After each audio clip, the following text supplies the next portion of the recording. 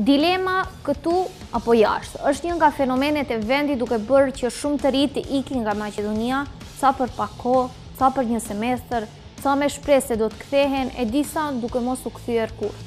Çka i bën studentët të largohen nga vendi, sistemi, pamundësia për diversitet të studimeve apo cilësia në arsim.